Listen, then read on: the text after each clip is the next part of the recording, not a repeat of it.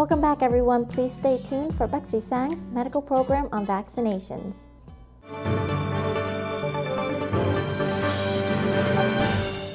Xin kính chào các quý thính giả của đài SBTN ở các mọi nơi. Một lần nữa tôi được hân hạnh để trở lại để trình bày với quý vị về cái tin tức mới nhất về chủng ngừa của 2019.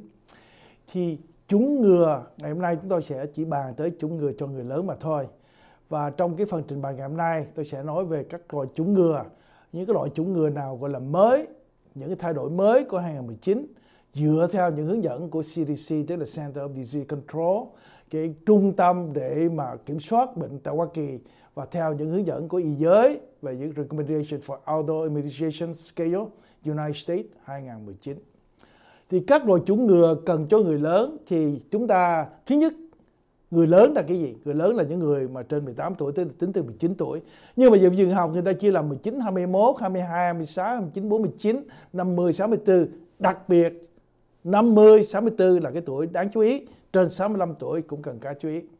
Và không những người bệnh phải được phân ra cái tuổi nhưng mà phải xem thử cái người thầy thuốc có nhiệm vụ phải xem họ có những cái bệnh gì khác trong cơ thể hay không đặc biệt, những cái bệnh giảm miễn nhiễm thì nó quan trọng lắm, tại vì chích thuốc ngừa, nó bắt buộc phải có hệ thống miễn nhiễm để tạo ra kháng thể để chống lại bệnh. Những người bệnh giảm miễn nhiễm là những bệnh người ung thư, những người tiểu đường, những người bị suyễn đang uống prednisone và những người đang sử dụng hóa chất trị liệu. Những người bị bệnh kinh niên, đặc biệt là chạy thận hay lọc máu, nhân dân, là người yếu. Những người bị tiêm kinh niên, người uống rượu, bị chai gan. Và đặc biệt, những người bị viêm gan kinh niên do những bệnh khác như là siêu gan B và C nhân dân. Và đặc biệt những người bị tiểu đường lâu ngày, lâu dài và có những biến chứng khác nhau. Khi chúng ta nói về những thuốc chủng ngừa thì thực sự nó có rất nhiều. Ví dụ như là chủng ngừa siêu gan A và B, những ngừa là SPV chủng ngừa ung thư tử cung và dòng hầu. Và chủng ngừa cúm thì tất cả mọi người chúng ta ai đều biết hết. Và chủng ngừa measles mumps rubella viết tắt là MMR ban sởi, quang bị và ban đỏ và đặc biệt, chủng ngừa sưng phổi thì chúng ta sẽ chú ý ngày hôm nay. Và chủng ngừa phong độc gánh, tetanus. Và chủng ngừa bệnh dời ăn hay là zona, tôi sẽ chú ý hai cái bệnh là sưng phổi và bệnh dời ăn ngày hôm nay.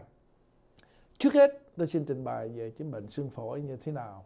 Thì cái thuốc chủng ngừa bệnh sưng phổi gây ra bởi có nhiều loại lắm, chứ không phải chỉ có vi trùng mà thôi.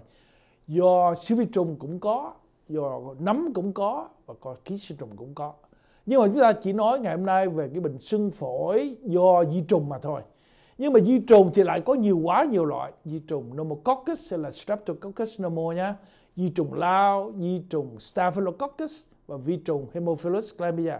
Nhưng mà quý vị nhớ là cái thuốc chủng ngừa chúng ta chỉ đối phó với con vi trùng Pneumococcus mà thôi. Chứ không có bảo vệ được tất cả những cái loại khác. Đó là cái điểm quan trọng.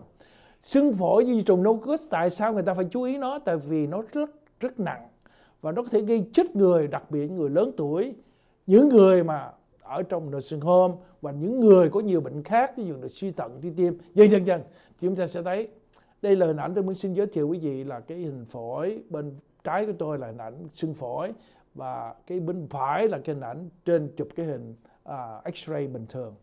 Và nếu chúng ta không chữa thì cái xương phổi chỗ đỏ hai phổi nó sẽ lan ra là lúc đó thường rất là khó chữa và có thể chết người.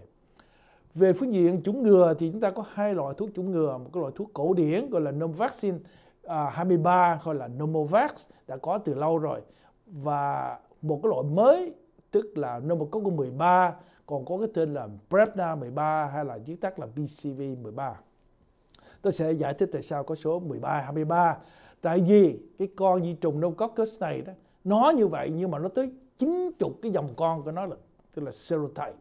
90 nhưng mà về phương diện nghiên cứu thì người ta chỉ thấy có 10 loại chính trong 90 cái dòng đó là gây hầu hết 60% các loại bệnh.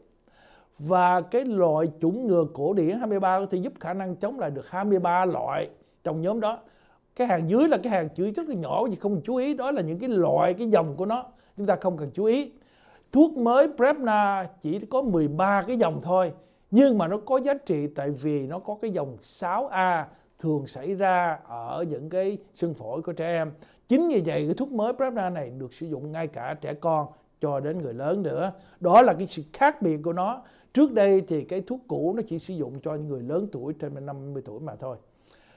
Và thực sự nó hữu hiệu hơn so với cái thuốc cũ.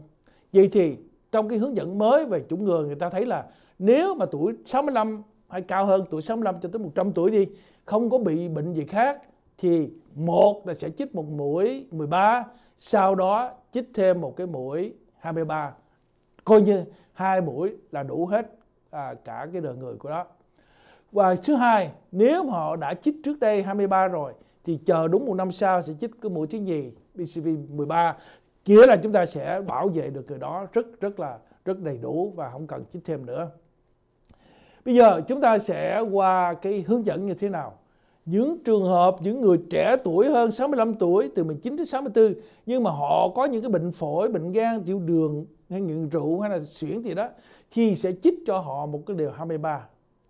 Còn nếu cái khả năng suy giảm của họ đề kháng họ quá yếu đó thì quý vị thấy rõ ràng là họ sẽ cần chích hai mũi, tức là một mũi 13 sau đó 8 tuần sau thì phải chích cho 23 có nghĩa là chúng ta sẽ có thể giúp cho họ bảo vệ hầu hết những cái dòng gây ra sưng phổi. Đó là cái điểm.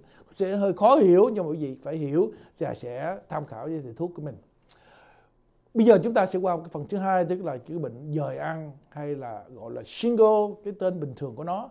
Tên khoa học là herpes zoster và vì Việt Nam chúng ta bệnh zona, tức là cái bệnh tiếng của tiếng Pháp đây là một loại bệnh nặng gây biến chứng rất là nhiều, đặc biệt đau nhức rất là lâu dài. Chính vì vậy mà chúng ta cần phải chú ý. Tại sao tôi cho quý vị coi những cái hình này? Nó đôi khi nó hơi, có thấy nó hơi rất là rất là ghê ghê tởm về phía diện bệnh tật. Nhưng mà quý vị thấy nó có nhiều dạng khác nhau, từ bàn tay cho tới cái ngực, rồi tới những cái đốm nhỏ nhân dân rồi tới cái mặt, ăn vô mắt nhân dân chính vì vậy mà khi quý vị thấy những cái hình ảnh này trên, xảy ra trên người của mình và kèm với đau nhức hoặc là những người thân của mình, những người lớn tuổi trong nhà mà thấy những cái này là chú ý là cho đi khám bác sĩ ngay. Tại vì chữa sớm chừng nào thì nó sẽ đỡ nhiều chừng đó. Cái số 2 là những cái thuốc chủng ngừa bệnh giờ an hiện nay thì chúng ta có hai loại chính, tức là zoster vaccine, một cái loại mới, siêu chim không còn sống nữa. Thì ra không có sợ nguy hiểm là có thể là nó sẽ lây lan hay gì do cái à, cái à, chủng ngừa. Còn cái thuốc ngừng cũ là zoster vaccine đó, gọi là Zovirax thì nó dù sử dụng còn sống nhưng mà nó giảm hiệu lực rất là nhiều. Đó là hai loại chính hiện nay trên thị trường. Thì cái Zostavac như quý vị đã thấy đó là vaccine live.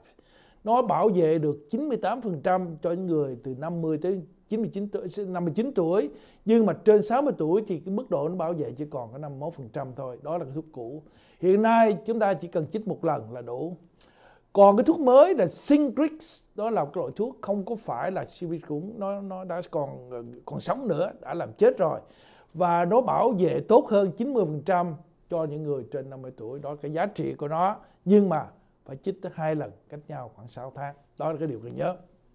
Vì nhớ là những điều về chủng ngừa, chúng sẽ giúp phòng bệnh, nhưng mà không có thể chữa bệnh được. Không bảo vệ hoàn toàn để không bị bệnh. Quý vị nhớ cái điều đó tại vì nó có quá nhiều cái loại bệnh của cơ thể mình. Và nhưng mà điều tốt lành đó là nếu nhiễm bệnh gì sẽ thấy nó sẽ nhẹ hơn. Và điều nhất điều trong y học là chủng ngừa lúc nào cũng tốt hơn phòng bệnh lúc nào cũng hơn trị bệnh. Đó.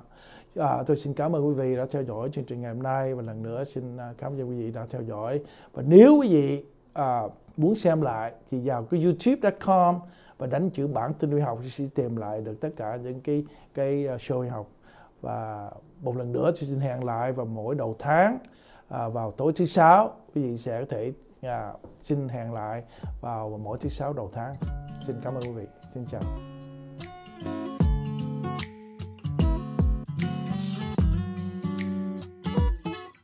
Hello everyone, we have reached the end of our Sunday's Vietnamese American television program.